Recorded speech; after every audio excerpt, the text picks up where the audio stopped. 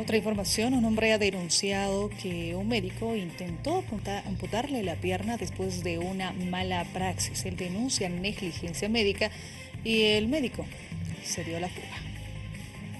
En la tercera intervención el doctor ya en la sala de cirugía me dijo, señor Achimo, no le vamos a poder curar su pie. Tenemos que cortarle desde la rodilla porque la caguera ya se la ha subido. Don Alberto Achimo sufrió un accidente durante su trabajo en construcción. Este fue trasladado a una clínica de la ciudad de La Paz. El médico que lo intervino intentó amputarle la pierna después de haber cometido negligencia en su trabajo. Y es así, así esta posición agarraba y toda la materia bajaba cualquier cantidad de pus.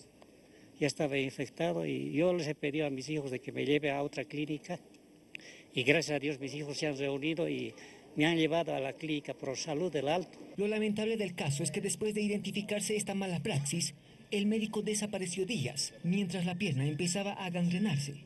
Supuestamente el médico habría introducido tornillos para que la ahora víctima pueda caminar.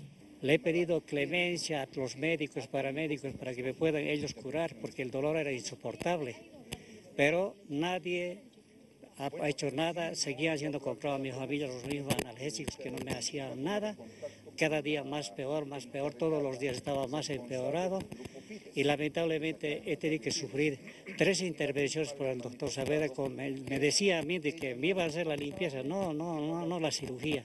El paciente acudió a otra clínica donde lograron atenderle la pierna. No se hallaron los tornillos que supuestamente fueron introducidos por el otro galeno. Algo que llamó la atención es que se hallaron algodones y hueso molido que estaba infectando la pierna ha resultado mala y le sacan cuatro, cuatro huesos del talón y, eh, y, le indican que le han colocado también cuatro, cuatro clavos, siendo así que, en la, eh, que su pierna ha comenzado a hincharse y a tener supuración totalmente de la pierna, del pie. El abogado de la víctima interpondrá una denuncia por el delito de negligencia contra el médico. Un especialista y le han colocado lo que tiene que, que ser siendo que en la operación descubren que le habían dejado algodón, gasas y hueso molido en el pie izquierdo.